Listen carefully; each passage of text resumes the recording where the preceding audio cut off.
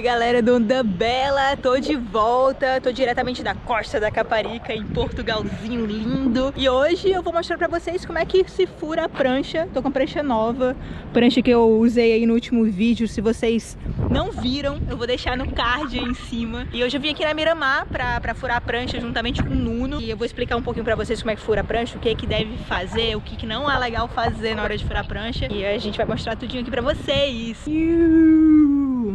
Bom, olha aqui o Fontinha, o Nuno. Como é que tá? Tá tudo bem? Quero saber se você assinou da Bela, cara. Sempre, sempre, sempre, sempre. Então vai me ajudar hoje a furar a prancha? Vamos. Trouxe aqui minha pranchinha nova. Gostaste? Gostei, tentei uns flipzinhos, uns, uns rolos legais. furar isto? Na verdade, eu queria explicar aqui pra galera como é que fura, porque eu sei que tem muita gente que tem dificuldade aí na hora de furar a prancha, tem medo ali de furar e fazer uma besteira. E eu acho que o Nuno aqui tem, tem a Não. loja, tem a Miramar, é um cara que já furou muitas pranchas. Não é- Por que, que tem que ter cuidado na hora de, de furar a prancha? Ah, o cuidado a ter é sempre não furar no stringer. Normalmente elas vêm aqui marcadas.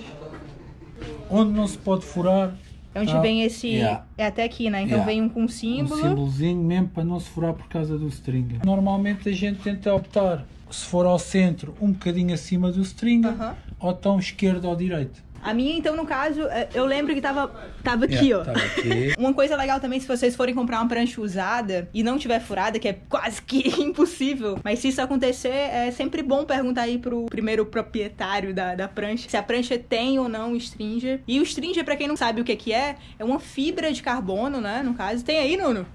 Bom, Nuno tem aqui!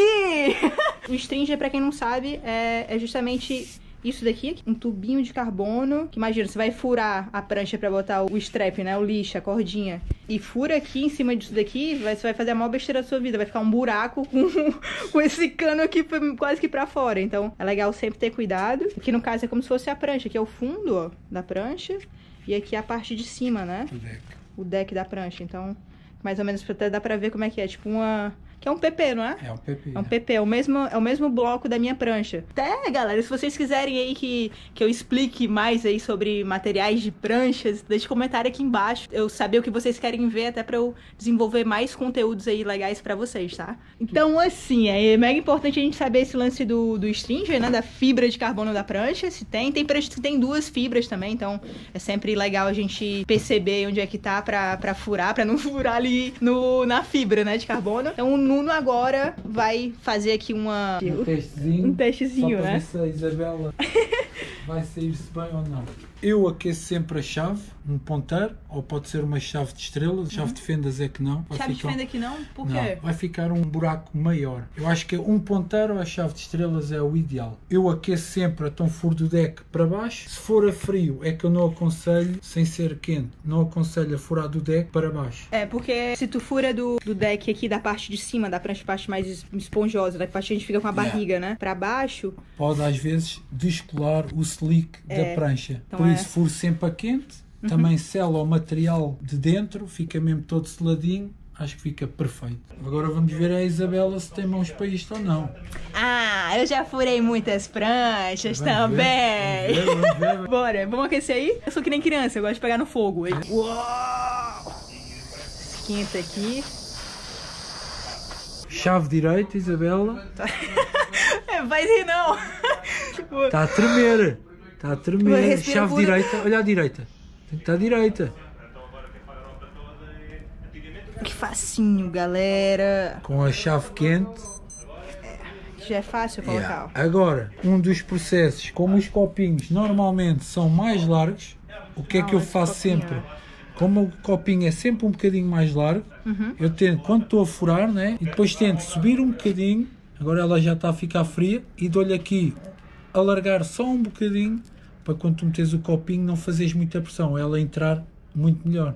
Uma das coisas que agora normalmente as pessoas fazem, porque as pranchas são mais finas, normalmente cortar aqui duas ou três roscas, como a prancha é muito mais fina e ela traz o tamanho das pranchas antigas, a gente está aqui a dar um, um cortezinho aqui da rosca. E fica Caiu. perfeito. Ah, Yeah. fica menorzinho o copinho, Yeah, né? yeah. É uma dica legal, galera. Yeah. Cortar um pouquinho aí do copinho, até pra... Ele pro- fica mais justinho mesmo Isso. prancha. Senão fica assim, né? O copinho, Nuno. Yeah. Fica tipo assim, meio Yeah. saindo. assim. Assim se cortarem sempre duas roscazinhas, ela vai ter muito mais ângulo e vai Aham. apertar muito mais o copinho à prancha. Então, vamos. O que interessa aí, eu quero furar minha prancha. Quero furar a minha. Deixa eu ver onde é que é o spot perfeito para a Isabel, onde é que ela gosta que se fure, fica melhor o lixo dela. Onde é que vocês acham? Tchan, tchan, tchan, tchan. eu gosto mais do lado esquerdo, galera. É? Eu uso o, o lixo, né? O, o strap. Tem muita gente que chama de maneiras diferentes. Então eu uso do braço esquerdo. Então acaba que faz mais sentido pra mim colocar o copinho do lado esquerdo da prancha. É uma dica aí também pra, pra vocês. Se vocês terem mais afinidade do lado direito, vale mais a pena botar do lado direito. Yeah. Tem mais afinidade do lado esquerdo, vale mais a pena furar a prancha Aqui do lado é- esquerdo. Se tem é dúvida, é no X. então bora furar? Bora fazer um ponto só de marcação, sim. Tá legal, tá, Aqui, tá bom. Dá-lhe uma marcaçãozinha Só- pequenininha para o pessoal não se perder. O conselho que eu dou sempre depois, ao furarem, sempre uma base plana para a prancha não abanar. Eita, essa parte que eu curto, a parte do fogo. Isabela, deixa tu. Eu quero. Opa. Cuidado aí com a prancha. Provavelmente vocês não vão ter essa, essa paradinha aqui que nenhum não tem de esquentar. Então faz no fogão. Fogão é uma boa Perfeito. opção. Ui! Isabela, Isabela. Aqui. Direito, direito. E... Tá, já furou. Perfeito. Aí vai que um bocadinho, é. Aqui no, pra alargar um pouquinho só. Yeah. Já tá, easy. Facinho. Agora eu venho aqui com um copinho. Agora já venho aqui com um copinho já. Nuno, ele diminuiu um pouco aqui da rosquinha do copinho, né? Bom, agora vamos aqui a parte de colocar o... Aqui é a parte final, dar esse make play. Depois você vai só enrolando aqui. Ela já vai estar pronta para flipar. Só dar uma coxadinha. Depois eu venho com moeda pra, pra terminar o processo. Tem, tem uma moeda aí, mano? Tem. Quero dinheiro. Ó, vocês podem ver, se, se a gente não tivesse cortado ali o copinho, ele ia ficar um pouco mais pra cima. Tá vendo que ele tá bem, vedando bem aí o furo da prancha, né? Então, queria agradecer vocês aí por estarem assistindo Onda Bela. Se gostarem, deixa a curtida, o like aí. Se não é inscrito, se inscreve. E tamo junto e até a próxima.